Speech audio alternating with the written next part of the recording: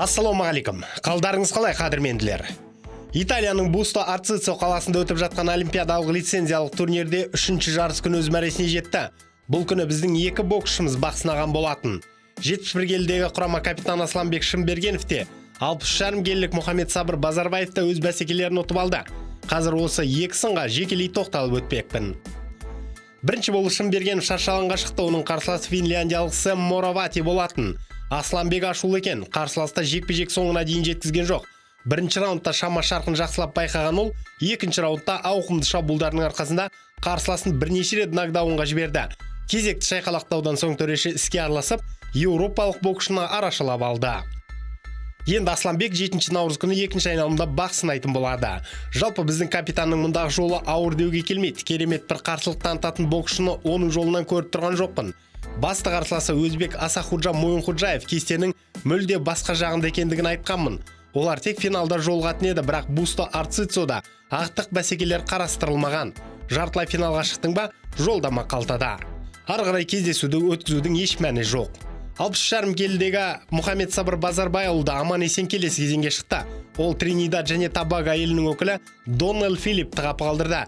Біз алаңдап отырған боксшымыз осы өйткені турнирге қатысып жатқан алтаудың арасынан осы базарбайұлы ғана өзбек боксының өкілімен жолығуы мүмкін егер ол ширек финалға аман есен жететін болса ар жақтан руслан абдуллаев та дін аман жетсе екеуі тікелей жолдамаға таласатын болады мұнда кімнің фаворит екендігін біліп отырған боларсыздар ал бүгін 92 келді айбек оралбай рингке шығады. Оның қарсыласы бірінші айналымда индиялық боксшы болып отыр. Санжет есімді боксшымен бақ сынасып көрмек. Оны өтетін болса алда кореялық шебер қазақты күтетін болады. Жалпы айбектің жолында да кедергілер бар.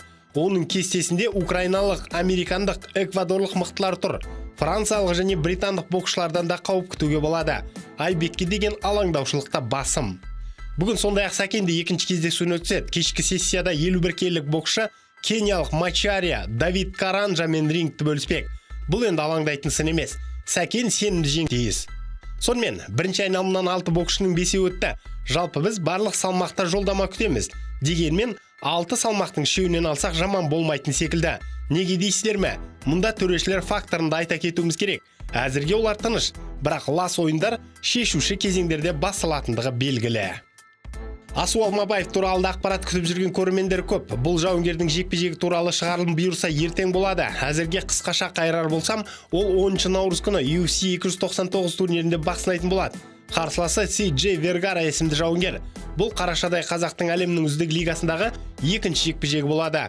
Естеріңізге салсақ ол өткен жылдың 5 тамызында ода осборнмен төбелесіп дебютын жасаған еді. Сол жекпе жекті жеңген алмабаев кештің бонусында қалтаға басқан еді.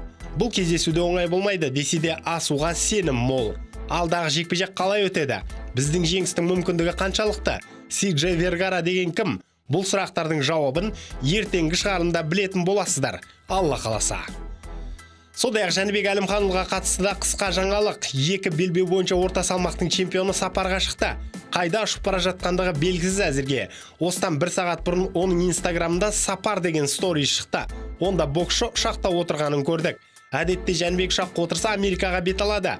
Басқа бағыттағы оның сапарын әзірге көрген жоқпыз. Сондықтан бұл жолы да ол мұхит асты ма деген болжам бар. Тура ораза айы басталған шақта қайда бара жатыр екен деген ой мазалауда әрине. Жаңа жекпе жектің шеті шықты ма екен? Шықса ол кім болды? Не де болса бұл бәсеке сол мамыр айында болатын шығар. Ал кіммен бокстасады деген сұраққа мен жауап айта алмаймын. Белбеу бірліктері сын емес деп ойлаймын. Олай болса хабарланатын еді. Әлде кезекті белбеу қорғау ма? Онда қарсыласы кім шираз ба әлде басқа ма? Не де болса бұл сұрақтың жауабын жақын күндері білетін боламыз. Сондай ақ бүгін түнде елге бекзат алмахан оралды. Өткен демалыстарда барша қазақтың жарға құлағын жастыққа тигізбеген бұл жауынгерімізді әуежайда бір қора адам қарсы алды. Әндетіп шулатып қошемет көрсетті жауынгерге.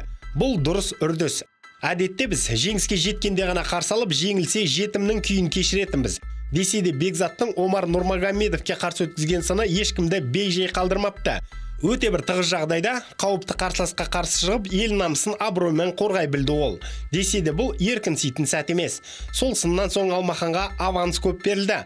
Демек оны ақтау керек. Ол үшін аздаған жарақаттар болса емдеп бірден залға бару. Той тойлайтын уақыт бұл емес. Бейнематериал ұнады ма онда лайк басыңыз пікір қалдырыңыз. Бұл біз үшін маңызды. Арнаға жазылып қоңыраушаны басып қойсаңыздар соңғы жаңалықтарды бірден біліп отырасыздар. Уақыт тауып тамашалағандарыңыз үшін рахмет. Қазақ батырларының жеңісті жорықтары. Молынан болсын.